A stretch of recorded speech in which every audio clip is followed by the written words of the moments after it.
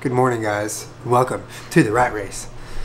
Wow, that was that was bad. Duh. So I'm gonna be answering your questions today for this week's Q&A video. I say this week's, implying that I do it every week, but I don't. I forget, and I don't do it. So here is this week's questions video. Thank you, by the way, for those of you who submitted questions. They were uh, they were pretty good this week, actually. Pretty solid. Why is that guy so angry?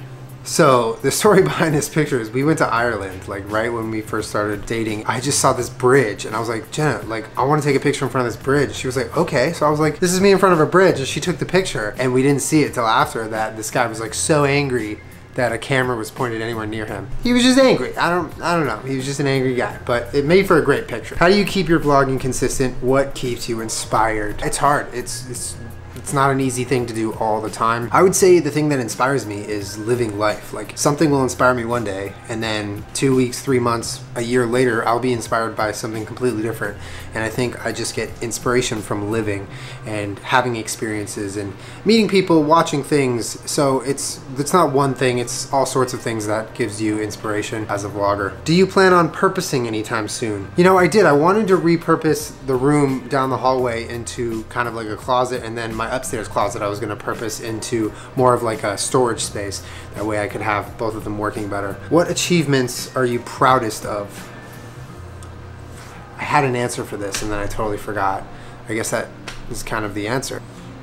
Pokemon Go or Rocket League? I think definitely Rocket League. Rocket League has stood the test of time. I think Pokemon Go had a phase and uh, it didn't really maintain itself. Who's your favorite stand-up comedian and why? Uh, I would say Demetri Martin is probably my favorite stand-up comedian. I watched him a lot when I was younger and something about his style was like really, really funny to me and still is. He had a show also, I think it was on Netflix a while ago. I don't know if any of you ever watched it. I forget what it was called, like This Is a Show by Demetri Martin or something. And it was incredible. Like the way his brain works always fascinated me. What is one thing you would love to film on a time lapse but is difficult or tricky to do?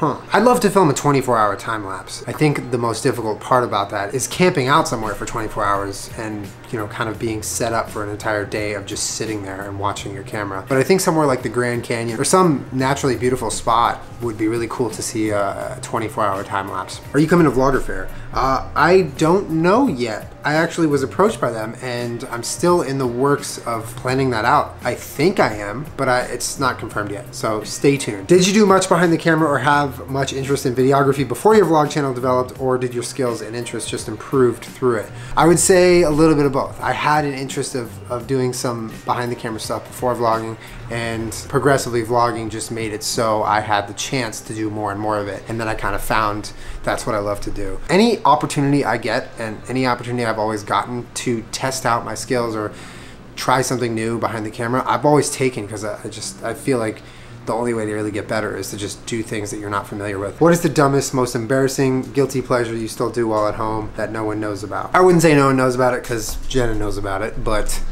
I rewatch series like from beginning to end. Like I'm watching Breaking Bad right now and I've already seen it, but I am like captivated by Breaking Bad, even though I've already seen the entire thing. I'm like looking forward to the next episode. I'm so excited to have a moment of free time so I could watch more Breaking Bad. And it's like I'm rewatching shows. I'm spending my time rewatching shows. When you can consume new media, I'm consuming the media I've already consumed. So I guess that's not super embarrassing. It's just some people don't get it, like Jenna.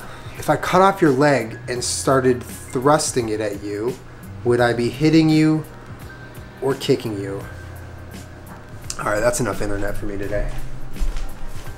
You'd be doing neither. You'd be bleeding out. Who's a good boy? Me, I'm, I'm a good boy. Do you ever get self-conscious if people give you weird looks when you're vlogging in public? Yes, every single place I go. The only difference now, compared to when I started, is you just don't give as many fucks. Every single time you do it, every single time someone looks at you, you just lose three fucks and you don't give that many the next time. You could at least say hi. Hi, I love you. You're really handsome. Are you getting the new iPhone? Uh, no, I use headphones way too much to not have a headphone jack. And I'm not about that dongle life. You know what I'm saying? What makes you feel most accomplished?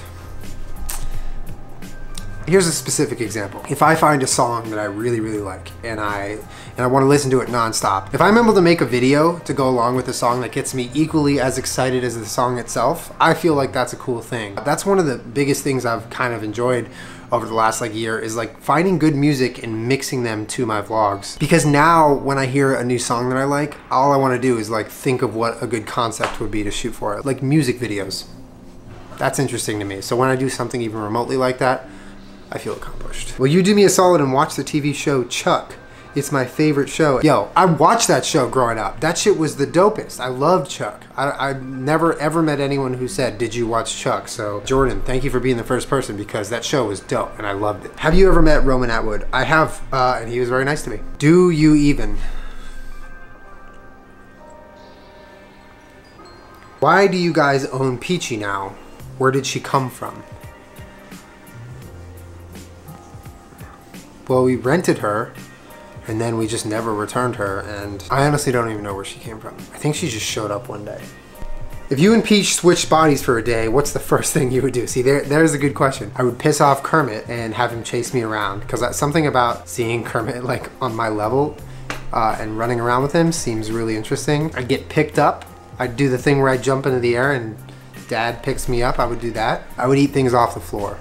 Would you ever plan a trip to Alaska? Hashtag clouds, lol. Yes, uh, yes, yes, I would.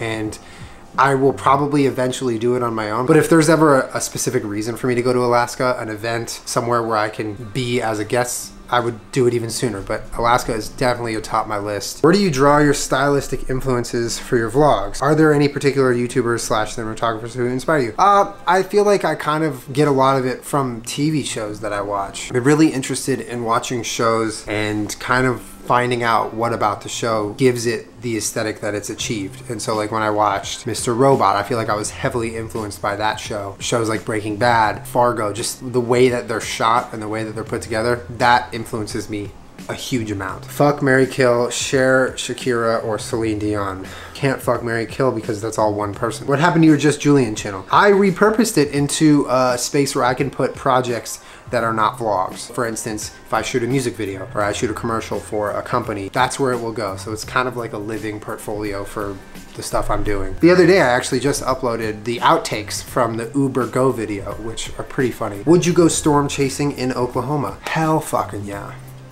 I just, I, I need help. I don't know what to do. All right, well, that's going to be it for the questions. Uh, thanks again to everyone who submitted questions on my Facebook. That is like the only thing I use my Facebook for, but you guys always leave good questions, so thank you. I'm currently in Boston, and I'm probably just right now walking around and exploring. So uh, if you see me in Boston, say hi. But uh, I will be back tomorrow for another vlog, and uh, I'll see you guys then. I gotta go return Peach now.